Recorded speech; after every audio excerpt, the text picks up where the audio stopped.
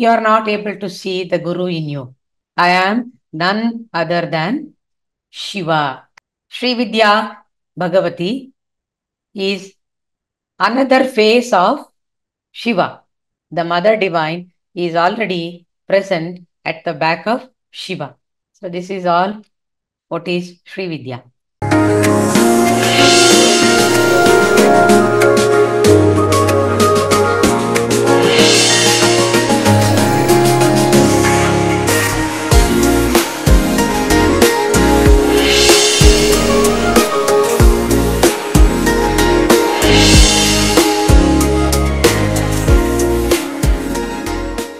Interesting ingredient in you called ego, ahankara tattva. You are not able to see the Guru in you.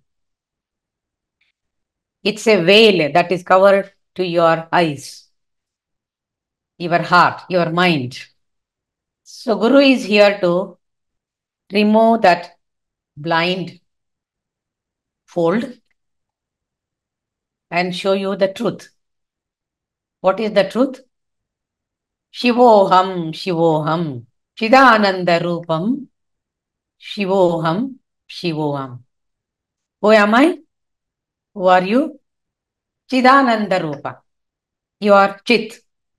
Chit is consciousness, Ananda, the supreme bliss that spirituality talks about. All the scriptures talk about. It's not outside. You are that bliss, Ananda. And Shivoham. I am none other than Shiva. Who is Shiva? Not the Shiva that you often see on your YouTubes, having Damaruga in his hand and then wearing a, a crescent moon and then Jatadhari and Rudraksha, Bhasma and all that. But he is also that, what you see in the YouTube. That supreme consciousness known by the name Shiva doesn't have any form or name. Similarly, Sri Vidya Bhagavati is another face of Shiva. My Rasa Guru, my other Guru from Mysuru, who is my Sri Vidya Guru, whom I call Rasa Gurugalu. He puts it in a beautiful way. He says, when you chant or when you utter a cry, Ma, Bhagavati,